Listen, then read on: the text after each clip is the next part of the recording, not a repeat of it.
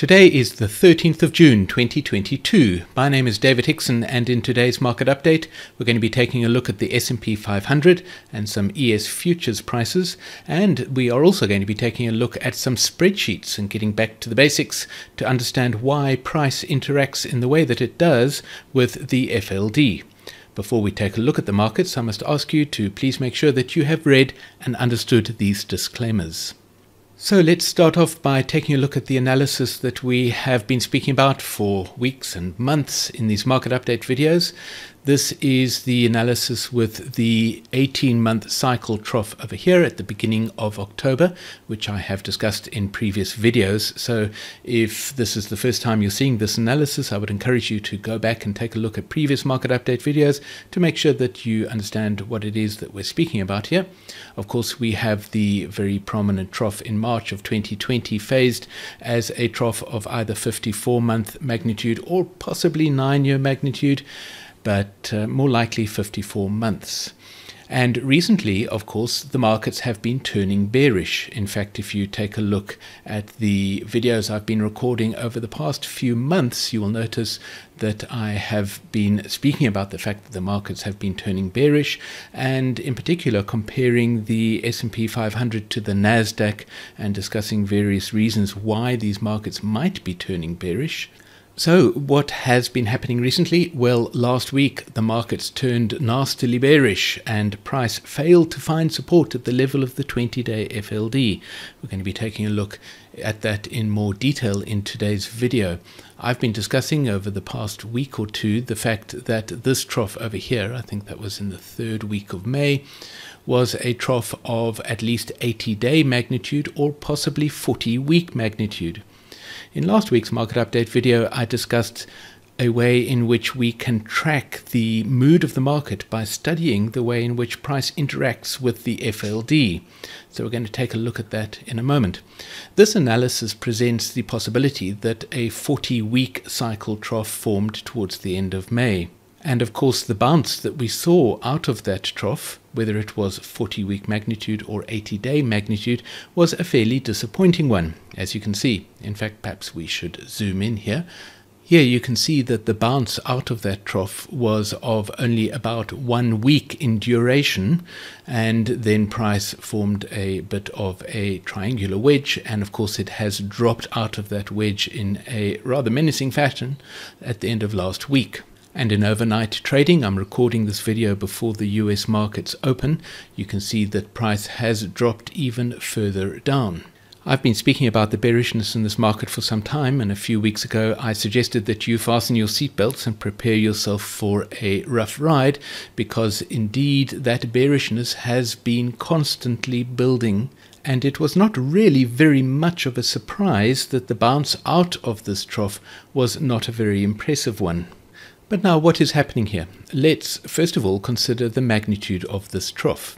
It is natural for somebody who is new to Hurst cycles to assume that because the markets are moving lower down, that means that the 40 week or 80 day cycle trough that we had identified only three weeks prior to this move down should be moved to the right. Now, that is possible but it is not necessarily the case. In a bearish market, when the market is moving downwards, identifying troughs can be fairly tricky, as I've mentioned before.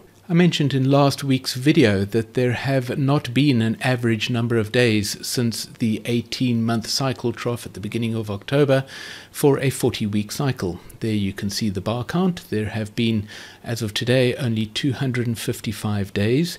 Now, the average length of a 40 week cycle is 270 two days. And so we might have another three weeks to go before the 40 week cycle trough actually does form. However, as I've mentioned before, more important than the actual wavelengths that we are looking at is the way that the complex puzzle of the analysis breaks down. What I mean by that is the identification of the shorter cycles.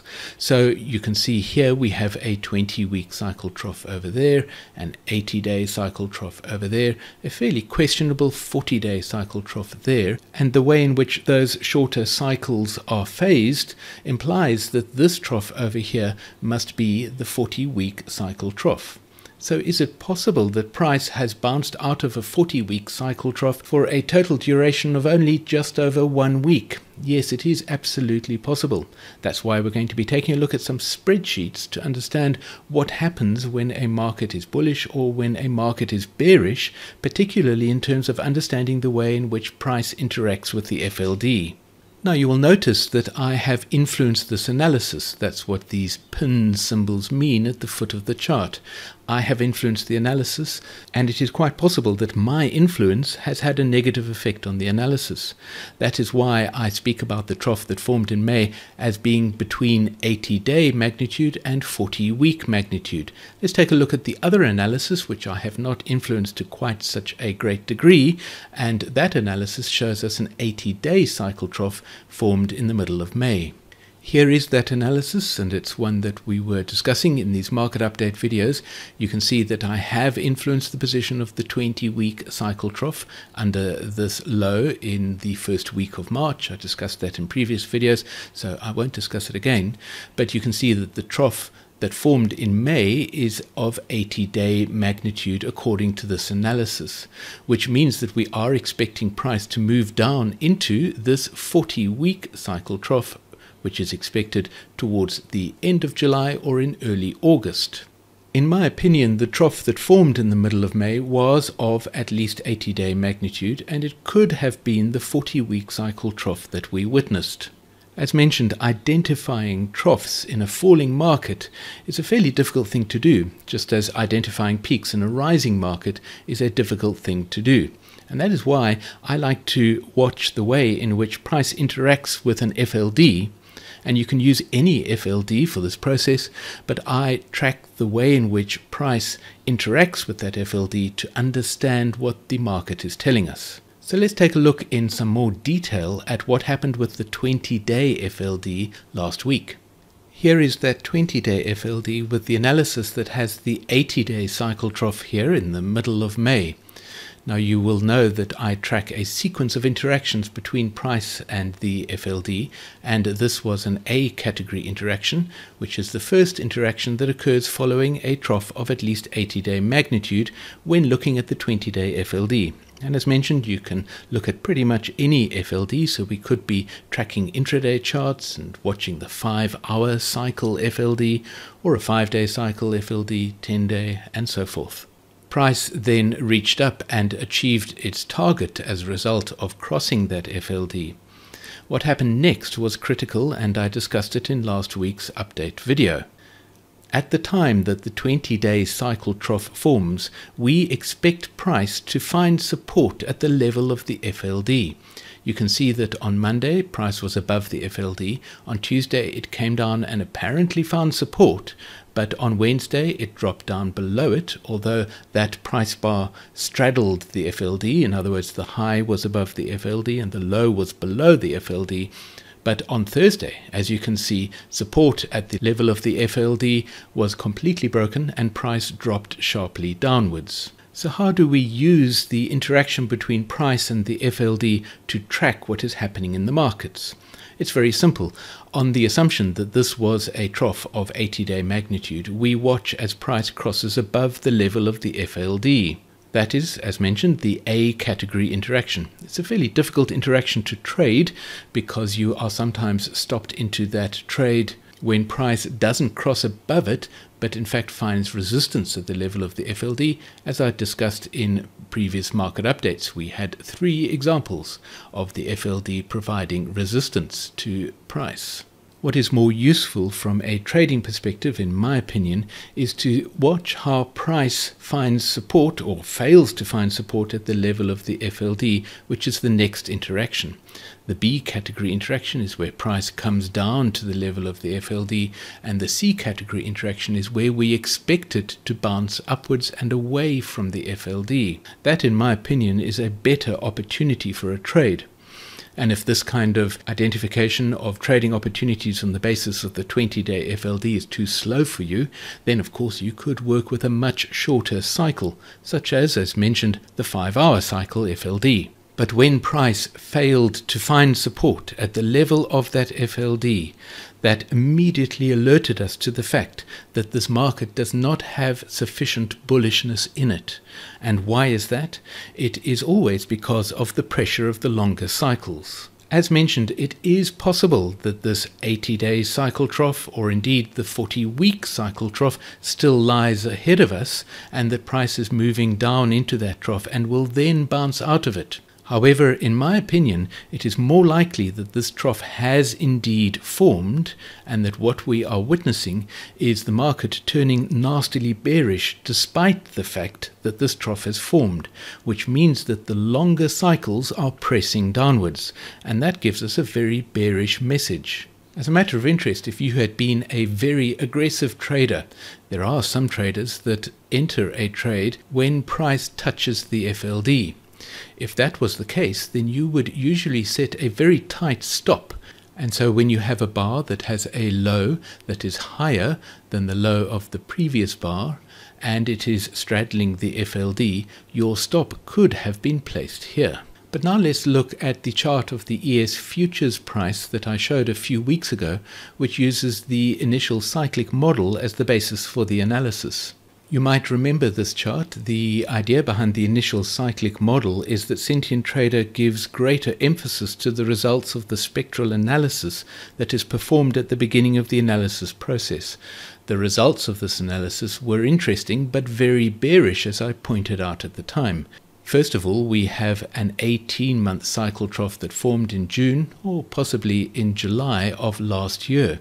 The fact that the market has turned bearish is not surprising in the context of this analysis because of the fact that we have the next 18 month cycle low looming ahead of us. And if we take a look at the composite model line that is derived from this analysis, you can see the path of the price action which is indeed very bearish with price moving down into this 18 month cycle low.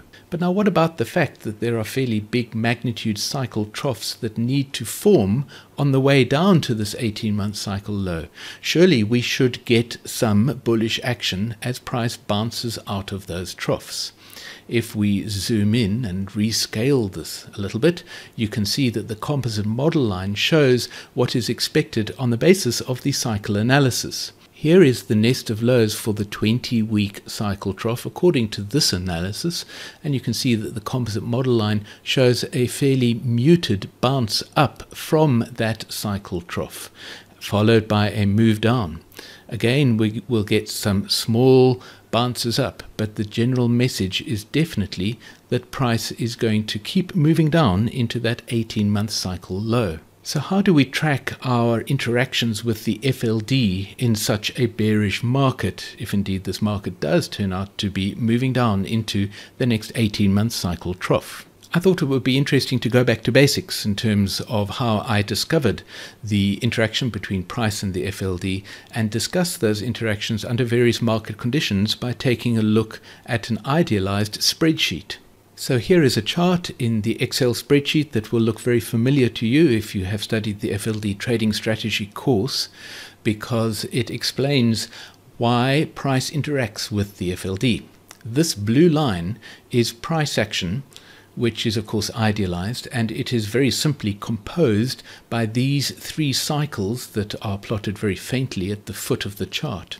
This cycle over here is the equivalent of an 80 day cycle if the FLD, which is this dashed line over here, is the FLD based on the 20 day cycle. So here is the 80 day cycle FLD. I can draw over it if case you can't see it very clearly.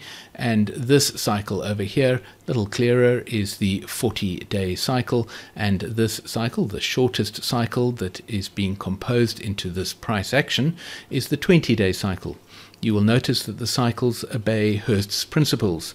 In other words, the troughs are synchronized where possible. This is a trough of the 20 day cycle and also the 40 day cycle. Here is a trough of the 20 day cycle, which of course cannot be a trough of the 40 day cycle because the 40 day cycle, as you can see, is experiencing a peak at that time. At the left hand edge of the chart are the troughs of the 80 day, 40 day, and 20 day cycles. Here on the left hand edge, and the same thing here on the right hand edge of the chart. You will also notice that the principle of proportionality has been applied to this chart. That tells us that the amplitude, and let me just clear all the markings on this chart, the amplitude of the cycle, which is measured vertically, of course, on the y-axis, the amplitude of the 80-day cycle is exactly double the amplitude of the 40-day cycle, which itself is exactly double the amplitude of the 20-day cycle. So what does this tell us about the FLD? Well, if price was composed in an entirely idealized world of only these three cycles, then this blue line would be the result of the influence of those three cycles. This dashed purple line is the FLD based on the shortest of these cycles. It is colored purple as the 20 day cycle is colored purple on our charts. And so, for the sake of illustration, we could call this the 20 day cycle FLD. Now you will notice that price crosses down below that FLD over there, it crosses above it over here, and it crosses down below it over here, and of course at the start of the next cycle it crosses above it over there. So we have only four interactions, and yet we identify a sequence of eight interactions. Why is that? Because in my experience, the amplitude of the cycles is the least reliable of all of Hurst's principles. The principle of proportionality is the least reliable of his principles. And in my experience, the amplitude of cycles when they have double the wavelength is very often not, in fact, double. In other words, um, an 80 day cycle will often not have double the amplitude of the 40 day cycle. I can adjust this spreadsheet to show you a more realistic, in my experience, interpretation of the relationship between the wavelength and the amplitude of the cycles. I've adjusted the spreadsheet to assume that the ratio between the amplitude and the wavelength of the various cycles is in fact only 1.2. In other words, the 80 day cycle has 1.2 times the amplitude of the 40 day cycle, and the 40 day cycle has 1.2 times the amplitude of the 20 day cycle. In my experience, this is a more accurate representation of what actually happens in the markets. But it's an interesting exercise, and you should certainly perform the exercise for yourself to see how this works. So here are the interactions that occur between price and the FLD. This is our A category interaction, where price crosses above the 20-day FLD following a trough of at least 80-day magnitude. At about the time that the 20-day cycle trough forms in the market, and you'll notice a little bit of time translation over here, at about that time price comes down and finds support at the level of the 20-day FLD. This is what we were looking for last week, but of course it failed, and we're going to speak in a moment about why it failed. But that is our B category interaction. Our C category interaction is where price pulls up and away from the FLD again. Here is our D category interaction where price crosses down below the FLD on its way down to the 40 day cycle trough. Here is our E category interaction as price crosses back above the FLD, bouncing out of the 40 day cycle trough, here is our F category interaction as price crosses down below the FLD on its way down to the 80 day cycle trough that will end the sequence. The G and H category interactions are a little bit like the mirror image of the B and C category interactions because price comes up to the FLD and finds resistance at the level of the FLD and then drops down away from the FLD again in the H category interaction. I speak about these interactions all the time. I've been trading these interactions for years. And in fact, I didn't discover the interactions through playing with spreadsheets. I discovered the interactions through trading the markets because I noticed that some FLD crosses were what I called golden crosses. Price crossed above the FLD or below the FLD and achieved its target. However, there were other crosses, leaden crosses, where price failed to cross the FLD and instead found support or resistance at the level of that FLD. It was only later that I came to the spreadsheet and actually figured out why it was that it did this. But here is the interesting point and the point that I wish to make. This is an example of these three cycles creating a simple price movement. And you can see that there is no underlying trend or no influence from longer cycles. underlying trend is simply the combined effect of all longer cycles, according to the way that Hurst originally defined it. And in all market situations, you have some kind of underlying trend. So, what happens when you have a very bullish underlying trend? For instance, let's take a look. Here are exactly the same three cycles, but we have an underlying trend which is bullish. So here is the 80 day cycle trough at the left hand edge, and the next 80 day cycle trough at the right hand edge. This is the 40 day cycle trough, and here is the 20 day cycle trough. Let's look at the way in which price interacts with the FLD. You can see we get a good impressive cross above the FLD, that's our A category interaction. Our B and C category interactions, price actually fails to even reach the FLD, which is something we often see in a bullish market. The D category interaction price comes down below the FLD, but actually probably fails to reach its target, so its target would have been a little bit lower. Then the E category interaction gives us a good bullish interaction as price crosses up above the FLD. But now this is where things get interesting because the F category interaction that should give us a good short trading opportunity fails to do so. And here is the G and then the H category interactions, where price, you will remember, normally finds resistance at the level of the FLD. But under bullish market conditions, these interactions are not very reliable. In other words, price crossed above the FLD and certainly did not find resistance at the level of the FLD. We can adjust the parameters and make this an even more bullish market. This is what happens to price interacting with the FLD when we have a very bullish market.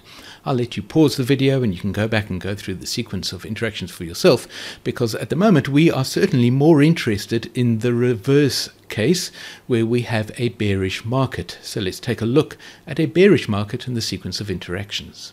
Here is the sequence of interactions in a fairly bearish market. Again, we have our 80-day cycle trough here at the left-hand edge of the chart and also at the right-hand edge of the chart.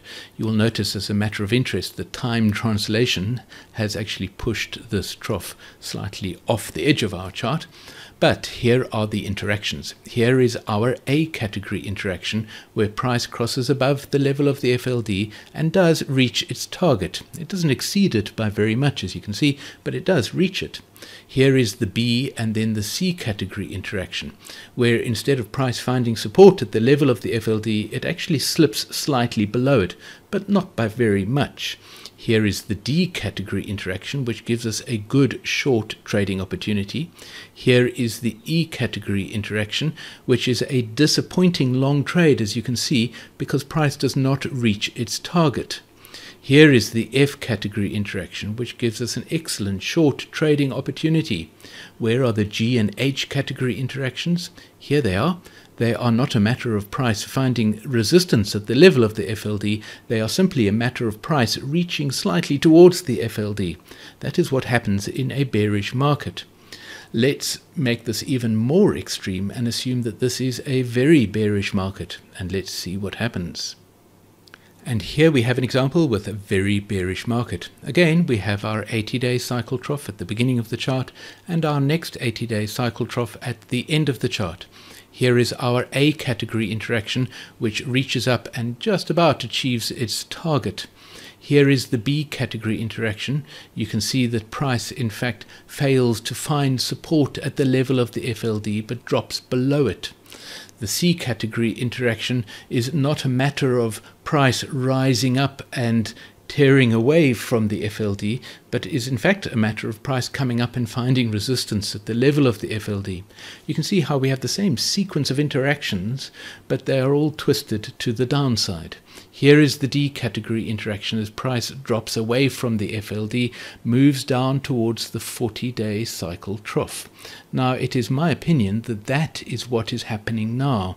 I think that we witnessed a very poor example of support at the level of the FLD, which is what we would expect in a bearish market. The C category interaction was what we witnessed last week as price tried to pull above the FLD but failed, and the D category interaction was when it gave up all hope and came down towards the 40 day cycle trough.